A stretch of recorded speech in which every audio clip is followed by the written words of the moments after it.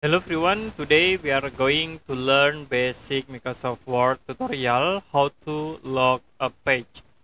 So if you want to log a page, you can use the restrict editing tools.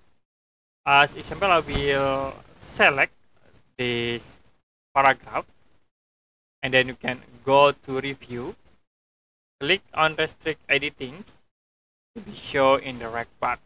Now here I will check for the limit formatting and then I will check again at this point. Can set in here into read only. And you can click yes to start enforcing protection. Set the passport. I will set passport. Like this. Click OK. Now if you want to edit it will be lock the paragraph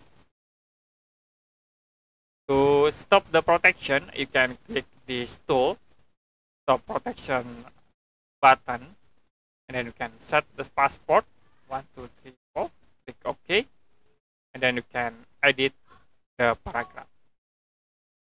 Okay, that's it for a basic Microsoft Word tutorial, how to log a page with restrict editing tools.